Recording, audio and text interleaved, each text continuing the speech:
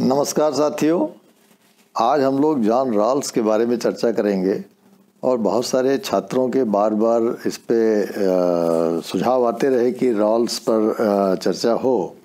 तो John Rawls actually America के Harvard विश्वविद्यालय में 40 साल तक लगभग उन्होंने प्रोफेसर रहे वहाँ पे और उन्होंने 1971 में ए थियरी ऑफ़ जस्टिस नामक एक पुस्तक लिखी जो कि बड़ी चर्चित रही। और इस पुस्तक में उन्होंने अपने न्याय के सिद्धांत का प्रतिपादन किया। तो आज संक्षेप में समझने की कोशिश करेंगे कि जॉन रॉल्स ने अपनी पुस्तक ए थियरी ऑफ़ जस्टिस में जिस न्याय के सिद्धांत की परिकल्पना की है वो सिद्धांत है क्या और उसका बैकग्राउंड क्या है। तो पहली चीज़ तो हम लोग ये समझते हैं कि जितने भी पॉलिटिकल थिंकर्स हैं, सबकी एक ही चिंता होती है और वो चिंता होती है कि राज्य की नैतिक स्थिति क्या हो। इसका मतलब ये हुआ कि व्यक्ति और राज्य के संबंधों को कैसे परिभाषित किया जाए? व्यक्ति को कितनी स्वतंत्रता दी जाए जिससे कि व्यक्ति का सर्वांगीण विकास हो सके?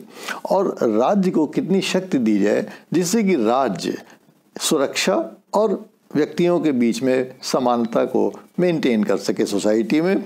और इसलिए पूरा का पूरा जो वैचारिक खेमा है, चिंतन का जो परिदृश्य है, वो दो खेमे में बटा हुआ है। एक खेमा वो है जो कि स्वतंत्रता को आधार बना के व्यक्ति के सर्वांगीण विकास की परिकल्पना करता है। और दूसरा खेमा वो है जो कि समानता को एक मौलिक सिद्धांत के रूप में देखना चाहता है कि समाज में जो कुछ भी हो, उसमें एक समानता होनी चाहिए। और इस तरह से इस स्वतंत्रता और समानता के दो खेमों में ही सारे विचारक बटे हुए हैं। जॉन रॉल्स का महत्व इस बात पे है कि उसने इन दोनों ही खेमों का एक सुंदर समायोजन करने का प्रयास किया। अर्थात, जैसे कि अगर जो लोग स्वतंत्रता में विश्वास रखते हैं तो उनको लगता है कि अगर स्वतंत्रता में कटौती होती है तो कहीं उनको लगता है कि उनके साथ अन्याय हो रहा है। इसी प्रकार से जो लोग समानता के सब समर्थक हैं, समानता मूलक विचारक हैं वो उनको लगता है कि अगर समानता में कहीं कमी है तो उनको लगता है कि वो न्यायपूर्ण समाज नहीं है, वो एक अन्यायपूर्ण समाज है। और इस प्रकार से न्याय को लेकर हर व्यक्ति, हर विचारक न्याय की स्थापना का ही प्रयास करता है, चाहता है कि न्यायपूर्ण समाज बने, सब लोग महसूस कर सके कि हाँ उसके साथ न्याय हो रहा है। प्लेटो के समय से लेके ये चिंता चली आ रही है। प्लेटो ने अपने आदर्श राज्य की परिकल्पना में भी एक न्यायपूर्ण व्यक्ति में न्याय क्या हो और समाज में न्याय, राज्य में न्याय कैसे हो, इसको परिभाषित करने का प्रयास किया। और वो न्याय पर आधारित समाज की परंपरा आज भी चली आ रही है और आज भी हम सभी लोग यही चाहते हैं कि एक ऐसा समाज क्यों न बन सके जिसमें सभी लोग को ये महसूस हो कि हाँ उनके साथ न्याय हो रहा है। और लेकिन कभी इस पर समझौता नहीं हो पाया, कभी इस पर विचारिक, वैचारिक सहमति नहीं हो पाई और इसलिए ये समस्या और ये प्रश्न आज तक ज्वलंत है। जॉन रॉल्स ने एक बहुत सशक्त हस्तक्षेप 1971 में अपनी पुस्तक थियरी ऑफ़ जस्टिस में किया। थियरी ऑफ़ जस्टिस में रॉल्स ने जो सिद्धांत प्रतिपादित किया, वो बड़ा, उसको कठिनता से पेश किया गया है पुस्तकों में और छात्रों को भी उसमें बड़ी समस्या आती है उसको समझने में। आज हम लोग ये बहुत सरल ढंग से समझने का प्रयास करेंगे कि आफ्टर ऑल रॉल्स का सिद्धांत है क्या? देखिए, पहली चीज़ तो हमें ये समझना है कि सिद्धांत जो बनाए जाते हैं, वो हम, हमारे और आपके ही द्वारा बनाए जाते हैं, कोई और व्यक्ति तो आके बनाएगा नहीं। अर्थात समाज ही न्याय के सिद्धांतों की संरचना करता है। और जब समाज न्याय के सिद्धांतों की संरचना करता है तो इसका मतलब ये हुआ कि समाज में रहने वाले लोग न्याय के सिद्धांत की संरचना करते हैं। अब दिक्कत यहीं से आती है कि समाज में जो लोग रहते हैं उनको अपने हित अहित, अपनी शक्ति, अपने निर्बलता का भान रहता है और इस प्रकार से वो कुछ अपने मूल्यों और हितों के साथ जीते हैं। और जब भी कोई भी न्याय के सिद्धांत की परिकल्पना या उसके संरचना की बात आती है तो सबको ये लगता है कि उसका हित कहीं ना कहीं संवर्धित होना चाहिए। उसका हिज और her interest should be protected when we formulate the principle of justice यही एक समस्या है, क्योंकि सबकी स्थिति समान नहीं कोई सबल है, कोई निर्बल है, कोई धनी है, कोई निर्धन है, कोई शिक्षित है, कोई गैर शिक्षित है, किसी का बैकग्राउंड किसी तरीके का है। तो नाना प्रकार की विविधताओं वाले समाज में ये समस्या बनी हुई रहती है कि जब व्यक्ति ही न्याय का सिद्धांत बनाएगा तो वो अपने हितों को आगे रखना चाहता है, जिससे कि आगे आने वाले समय में उसको उस न्याय के सिद्धांत से उसका हित संरक्षित हो सके। यही से समस्या आती है। इसी से, इसी पर असहमति बनी रहती है, और इसीलिए कभी जब भी न्याय के सिद्धांतों की रचना होती है तो किसी न किसी समाज में व्यक्ति को, किसी वर्ग को ये हमेशा लगता है कि उसके साथ न्याय नहीं हो पाया है। रॉल्स भी ये कहता है कि बनाएँगे तो सिद्धांत व्यक्ति ही, व्यक्तियों के लिए कोई और सिद्धांत बना के नहीं देगा, उन्हों के, उनको ही बनाना है। और बनाने में जो सबसे बड़ा अवरोध है अच्छा न्याय का सिद्धांत बनाने में जो सबसे बड़ा अवरोध है, वो यही है कि पक्षपातपूर्ण व्यवहार हम करते हैं, अर्थात हम अपने प्रति पक्षपात करते हैं।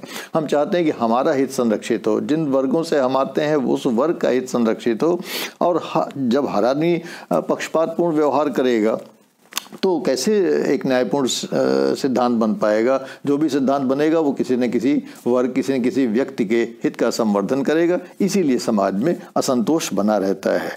तो क्या रॉल्स कहता है कि क्या कोई भी परिस्थिति की ऐसी परिकल्पना की जा सकती है, जिसमें व्यक्ति अपने स्वहित से ऊपर उठ के और पूरे समाज के हित के लिए काम करे और अपने अपने स्वहित का संज्ञान इस रूप में ले कि समाज का जब हित होगा तो स्वयं उसका भी अपना हित हो जाएगा। क्या इस प्रकार की संभावना है? क्या इस प्रकार की समाज की परिकल्पना हो सकती है क्या?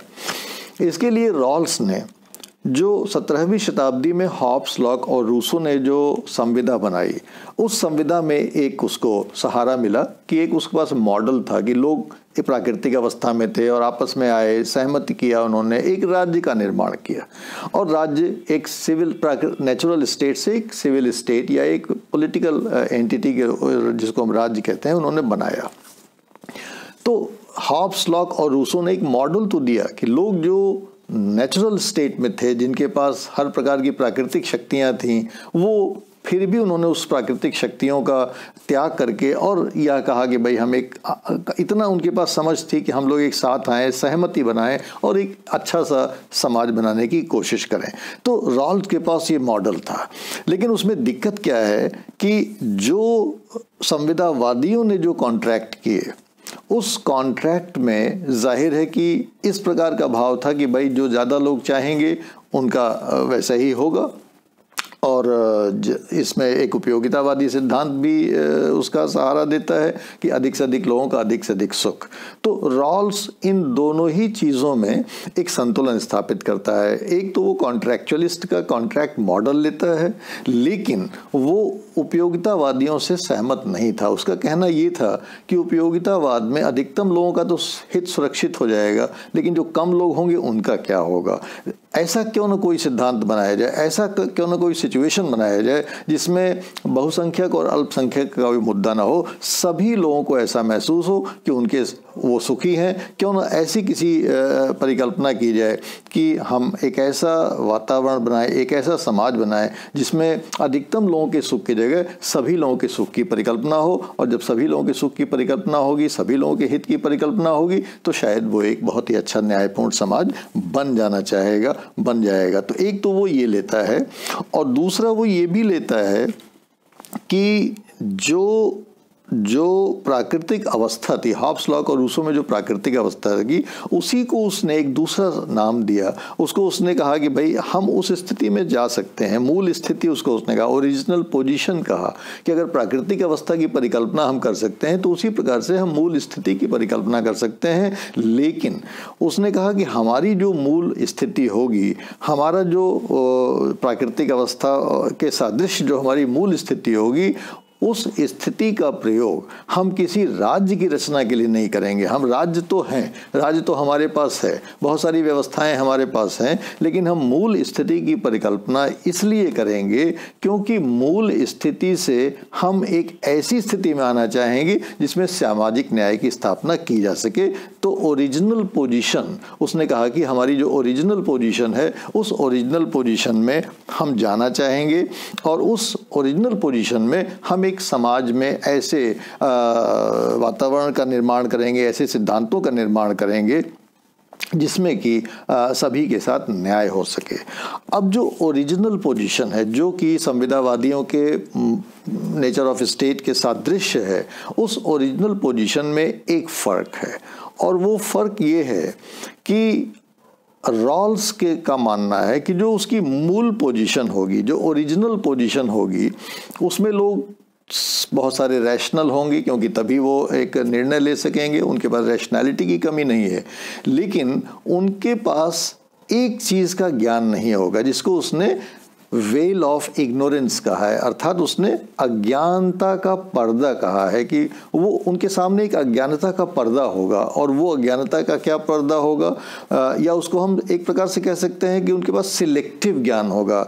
एकदम से वो ज्ञानवान नहीं होंगे और एकदम से अज्ञानी भी नहीं होंगे। अगर मुझे कहना पड़े तो मैं उसको वेल ऑफ़ इग्नोरेंस की जगह सिलेक्टिव इग्नोरेंस कहूँगा और वो सिलेक्टिव इग्नोरेंस ये है कि हम बहुत सारी चीज़ों के बारे में तो जानते हैं, लेकिन एक दो चीज़ों के बारे में नहीं जानते हैं। और वो एक दो चीज़ क्या है कि हम ये नहीं जानते हैं कि हमारा हित क्या है? और हमारे हित को संवर्धित करने वाली प्रक्रिया क्या है? और हम ये नहीं जानते हैं कि जो समाज है या जो समाज बनेगा, उसमें हम शक्तिशाली होंगे कि निर्धन होंगे, कि धनवान होंगे, कि अशक्त होंगे? हमारी क्या पोजीशन होगी? ओरिजिनल पोजीशन पे हम नहीं जानते हैं। ओरिजिनल पोजीशन, जैसे कि बच्चे की ओरिजिनल पोजीशन होती है माँ के गर्भ में। लेकिन बच्चे को ये नहीं पता होता है कि वो धनवान घर में पैदा होने वाला है, कि निर्धन घर में पैदा होने वाला है, कि शिक्षित घर में पैदा होने वाला है, कि अशिक्षित घर में पैदा होने वाला है। वो उस स्थिति, उस तरह की कुछ मानसिकता की आप परिकल्पना कीजिए कि जो ओरिजिनल पोजीशन है, उसमें जितने भी नागरिक हैं, उन नागरिक, उन सभी लोगों को ये बिल्कुल नहीं पता है कि आगे आने वाले समय में उनका हित क्या होगा और उस हित को संवर्धित कैसे किया जाएगा। अतः वो तार्किक तो हैं, वो ये तो जानते हैं कि उनको अपने आ, समाज के लिए निर्माण के लिए एक अच्छे न्यायपूर्ण सिद्धांतों की आवश्यकता है। लेकिन वो ये नहीं जानते कि किस प्रकार के न्यायपूर्ण सिद्धांतों की संरचना करने से उनका स्वहित संरक्षित होगा क्योंकि उनको मूल स्थिति में इसका ज्ञान ही नहीं है। तो रॉल्स ने एक प्रकार से इमेजिन करने का हमको एक थॉट एक्सपेरिमेंट करने का एक मौका दिया है कि आप सोचिए।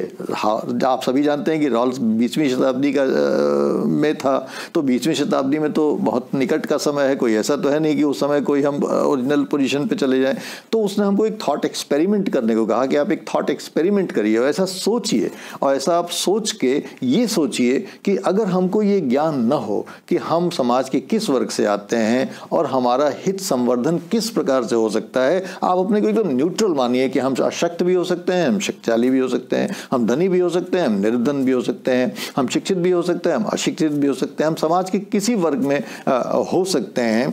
तो क्यों ना एक ऐसा सिद्धांत बनाया जाए जिसमें सभी लोग इस बात को जब जानते ही नहीं है कि उनका हित क्या है और उनके हित को कैसे संवर्धित करना है तो फिर उनके लिए ये बहुत आसान हो जाता है कि वो निष्पक्ष ढंग से फेयर ढंग से न्याय के सिद्धांतों की परिकल्पना करें। और इसीलिए रॉल्स ने जो अपना न्याय का सिद्धांत दिया, उसको उसने जस्टिस एज फेयरनेस का नाम दिया। अर्थात वो न्याय जिसमें कि फेयर हो, जैसे हम लोग कहते हैं ना कि आप हमारे साथ अनफेयर हो रहे हैं you are not fair to me इसका मतलब क्या है कि आपको जो हमारे साथ जैसा व्यवहार करना चाहिए तो वैसा नहीं कर रहे हैं। तो न्याय में सबको ये लगता है कि उसके साथ फेयर ट्रीटमेंट होना चाहिए। तो वो फेयर ट्रीटमेंट तभी होगा जबकि ओरिजिनल पोजीशन पे हमको ये नहीं पता है कि कैसा व्यवहार करने से हमको लाभ होगा और कैसा व्यवहार करने से हमको हानि होगी। तो जब ये हमको पता ही नहीं है तो हम ऐसे सब लोग मिलके, जितने भी लोग हैं समाज में, सब मिलके एक ऐसे सिद्धांत की रचना करेंगे, जिस सिद्धांत से कि समाज के सभी लोगों का हित संवर्धन हो सके, सबको, क्योंकि ये हमको पता है जैसे मैंने कहा कि selective ignorance veil of ignorance एक सिलेक्टिव इग्नोरेंस है, कि अर्थात हमको बस इस चीज़ का नहीं पता है, लेकिन हमको ये पता है कि न्याय के सिद्धांत के विकल्प क्या हैं, हमको ये पता है कि न्याय के सिद्धांतों के विकल्प का क्रम क्या होना चाहिए, कौन सा सबसे अच्छा सिद्धांत है, उससे सेकेंड ग्रेड का कौन सा सिद्धांत है थर्ड ग्रेड का कौन सा सिद्धांत सिद्धांत है किस सिद्धांत का हमें चयन करना चाहिए और हमें अपने सबके लिए अवसरों को बढ़ाना है, सबके कल्याण की कामना, ये सारी चीज़ें हमको पता है। तो सिलेक्टिव इग्नोरेंस है। सब चीज़ों के बारे में इग्नोरेंस नहीं है। वेल ऑफ़ इग्नोरेंस जिसको रॉल्स कहता है, मैं उसे सिलेक्टिव इग्नोरेंस कहना पसंद करूँगा कि कुछ चीज़ों के बारे में हमको इग्नोरेंस है, लेकिन बहुत सारी चीज़ों के बारे में हमको ज्ञान भी प्राप्त है। और तब ऐसे जब स्थिति में हम सब लोग एक न्याय के सिद्धांतों का निर्माण करेंगे, तब जाके एक ऐसे न्यायपूर्ण सिद्धांत का निर्माण होगा, जिसमें कि सबके लिए लाभकारी होगा और सभी लोगों के लिए वो सिद्धांत हितकारी होगा।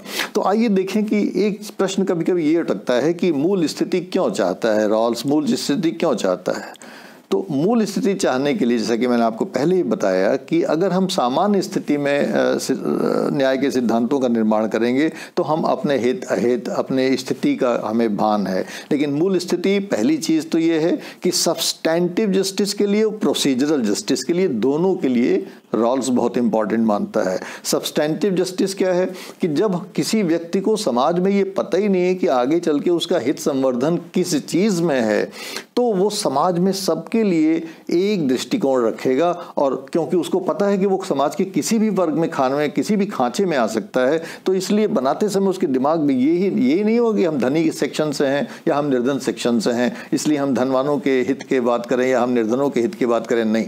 वो ऐसी बात करेगा जिसमें कि चाहे वो धनवान हो आगे चल के, चाहे वो निर्धन हो, उसको समाज में एक फेयर ट्रीटमेंट मिले और जिसका कि, जिससे कि उसके, उसको खुशी हासिल हो सके, उसको न्याय का एहसास हो सके।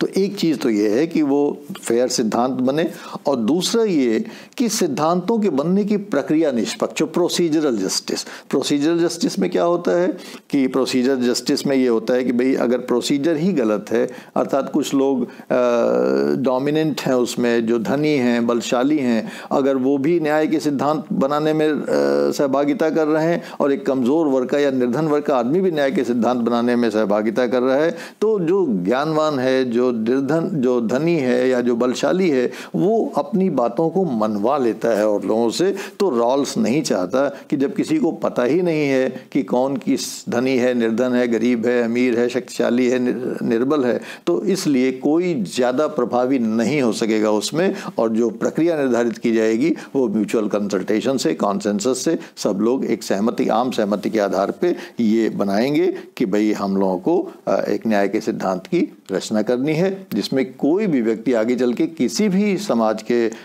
खांचे में आए, लेकिन उसको वास्तव में न्याय मिलना चाहिए। तो अब आइए देखें कि वो न्याय का सिद्धांत है क्या।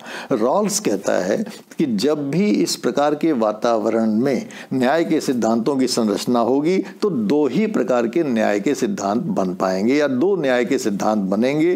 पहला सिद्धांत ये होगा, जिसको कि वो लिबर्टी प्रिंसिपल कहता है कि अर्थात हर व्यक्ति ऐसा चाहेगा कि सबको समान स्वतंत्रता प्राप्त हो, अर्थात मुझको जो अधिक से अधिक स्वतंत्रता चाहिए, वो अधिक से अधिक स्वतंत्रता वैसी ही होनी चाहिए जैसे कि आपको चाहिए, जैसे कि आपको चाहिए, जैसे कि और सभी लोगों को चाहिए। तो सबकी स्वतंत्रता की प्राप्ति में एक समानता का भाव होना चाहिए। तो आप देखिए कितना सुंदर समन्वय हो रहा है यहाँ पे। रॉल्स लिबर्टी और इक्वालिटी दोनों का सुंदर समन्वय कर रहा है कि स्वतंत्रता सबको चाहिए और हमको जितनी स्वतंत्रता चाहिए, उतनी ही स्वतंत्रता समाज में हर व्यक्ति को चाहिए। पहला सिद्धांत तो हम ये बनाएँगे। और दूसरा सिद्धांत हम क्या बनाएँगे कि ये तो हुई पॉलिटिकल लिबर्टी की बात। दूसरा सिद्धांत हम ये बनाएँगे कि जो सामाजिक आर्थिक स्थिति है, आगे चल के हमको पता है कि उसमें असमानता होनी है। कोई आज तक समाज ऐसा बना नहीं जिसमें कि एकदम आइडेंटिटी ऑफ़ इकोनॉमिक स्टेटस हो या आइडेंटिटी ऑफ़ अपॉर्चुनिटी और पोजीशन हो। तो सब भिन्नताएँ तो रहेंगी, लेकिन तो रॉल्स भी इसको स्वीकार करता है कि आगे चल के समाज में विषमताएँ तो होंगी। लेकिन वो कहता है कि हमें जो विषमताएँ सामाजिक, आर्थिक होंगी, उनको ऐसा विन्यासित करना चाहिए, उनको ऐसा क्रम में लगाना चाहिए कि उसमें दो चीज़ें हों। पहली चीज़ें हों कि अगर असमानताएँ हैं तो उस असमानता से हम समानता की ओर बढ़ सकें। अर्थात जिस असमानता की जो अपरिहार्य है, जो कि इनएविटेबल है, उस असमानता का जो विन, जो अरेंजमेंट हो, वो ऐसा हो कि समाज के सभी वर्गों को उसका एडवांटेज मिले और ख़ास तौर से जो मार्जिनलाइज सेक्शंस हैं, जो गरीब पिछड़े हैं, उनको उसका सबसे ज़्यादा एडवांटेज मिलना चाहिए। तो पहली चीज़ तो दूसरे प्रिंसिपल में ये आती है कि जो उसका, जिसको हम डिफरेंस प्रिंसिपल कहते हैं कि एक दूसरे में अंतर तो है, लेकिन वो अंतर बना बना रहे, लेकिन उस अंतर का लाभ सभी लोगों को मिलना चाहिए और ख़ासतौर से जो सबसे पिछड़े लोग हैं, सबसे गरीब लोग हैं, उनको उसका सबसे ज़्यादा लाभ मिलना चाहिए। इस पर इम्फेसिस है रॉल्स का। और दूसरी चीज़ ये है कि इक्वल अपॉर्चुनिटी प्रिंसिपल की उसने बात किया है कि समाज में हमें ये भी देखना चाहिए कि जो भी पद या जो भी अवसर हैं, वो सारे के सारे अवसर या पद इक्वल इक्वालिटी ऑफ़ अपॉर्चुनिटी के प्रिंसिपल पे आधारित हो। अर्थात समाज का कोई ऐसा वर्ग न हो, जो किसी भी कारण से उन अवसरों से वंचित हो जाए। अर्थात अवसर सबके लिए खुले हुए हों। कोई भी बाधा ऐसी ना आए, जो कि अवसरों को हमसे रोकती हो कि नहीं, आप ऐसा नहीं बन सकते। तो इस प्रकार से रॉल्स ने आप देख रहे हैं कि इक्वालिटी और लिबर्टी इन दोनों का समायोजन किया और इन दोनों के समायोजन से उसने एक ऐसी आधारशिला बनाई जिस पर कि पूरे न्याय का सिद्धांत बनता है। और इस प्रकार से रॉल्स की थियरी ऑफ़ जस्टिस में जो सबसे खसूसियत है, जो सबसे ख़ास बात है, वो यही है कि न तो वो लिबर्टी की तरफ़ झुकता है, न वो इक्वालिटी की तरफ़ झुकता है, बल्कि लिबर्टी और इक्वालिटी को दोनों को एक स्तर पर ला के अहमियत देता है, उनको एक स्तर पर ला के खड़ा करने की कोशिश करता है और एक ऐसे समाज के निर्माण की परिकल्पना करता है जिसमें न ना लिबर्टी में विश्वास करने वालों को अन्याय की आभास हो सके और जिसमें ना इक्वालिटी में विश्वास करने वाले लोगों को अन्याय का आभास हो सके। तो किसी को भी, चाहे वो लिबर्टी को मानता हो, चाहे वो इक्वालिटी को मानता हो, दोनों प्रकार के लोगों को, मानने वाले लोगों को ये महसूस हो कि उनको जिस न्याय के सिद्धांत की संरचना हुई है समाज में, उसमें उनको इक्वालिटी भी प्राप्त हो रही है और उसमें लिबर्टी भी प्राप्त हो रही है। उसमें दोनों का समायोजन है और तब शायद वो महसूस कर सकेंगे कि वास्तव में वो समाज एक न्यायपूर्ण समाज है। तो ये रॉल्स का सिद्धांत है। इसकी बहुत सारी आलोचना हुई। रॉल्स ने इसमें आगे चल के कालांतर में अपने कुछ परिवर्तन भी किए, लेकिन मूल रूप से रॉल्स का यही न्याय का सिद्धांत है। आशा है आपको थोड़ा सा इसमें कुछ समझ में आया होगा, क्योंकि तो बहुत इसको कॉम्प्लिकेट करके प्रस्तुत किया जाता है। बड़ा सरल है, अगर इसको सरल ढंग से कहें तो हर व्यक्ति समाज में अगर ये अपने स्वहित से ऊपर उठ के पूरे समाज के बारे में सोचे और स्वतंत्रता और समानता का समायोजन करने का प्रयास करे और इस तरीके से सिद्धांतों का निरूपण करे कि समाज में सभी को, चाहे वो गरीब हो, चाहे अमीर हो, चाहे धनी हो, चाहे निर्धन हो, चाहे बलशाली हो, चाहे कुछ भी हो, उसको ये महसूस हो कि उसके साथ न्याय हो रहा है। तो इसी प्रकार से रॉल्स ने अपने न्याय के सिद्धांत को प्रतिपादित करने की कोशिश की। ये एक तरीका है प्रतिपादित करने का। आप लोग इसको और पढ़िएगा, देखिएगा कि इसमें क्या क्या खामियाँ हैं। बहुत सारी आलोचनाएँ हुई हैं, उन आलोचनाओं को भी पढ़िएगा, लेकिन हमने कोशिश किया है कि सरल ढंग से थोड़ा सा इस सिद्धांत को समझा जा सके। Thank you very much